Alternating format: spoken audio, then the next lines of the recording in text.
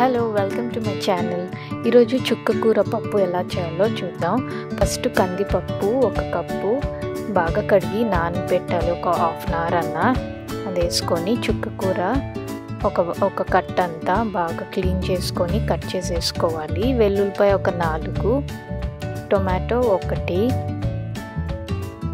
పచ్చిమిరపకాయ ఒక సెవెన్ దాకా చిన్న సైజు ఉల్లిపాయ ఒకటి పసుపు ఒక ముక్కాలు స్పూను నీళ్ళు ఒకటిన్నర కప్పు. నువ్వుల నూనె ఒక స్పూను. నూనె వేస్తే ఏమవుతుందంటే పప్పు పొంగకుండా మంచిగా ఉడకద్ది.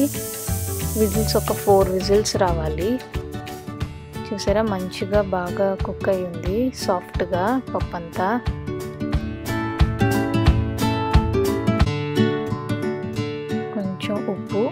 దీనికి పప్పుకు సరిపడే అంత ఉప్పు వేసుకొని పప్పు కుత్తితో బాగా స్మాష్ చేసుకోవాలి.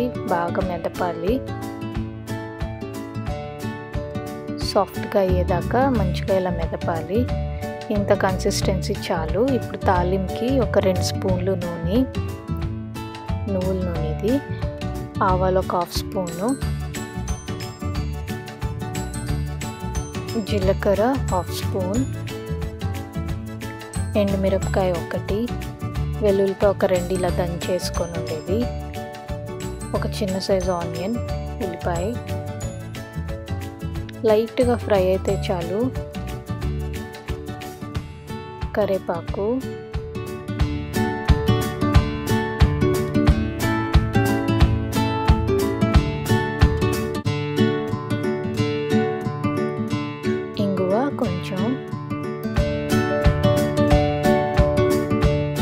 ఇలా బాగా ఇలా ఫ్రై చేసి మనం మెదపున్న పప్పులో ఈ తాలింపు వేస్తే చుక్కకూర పప్పు తయారైంది. చపాతీలోకి అన్నంలోకి సంగట్లోకి చాలా బాగుంటుంది. మీరు ట్రై చేయండి.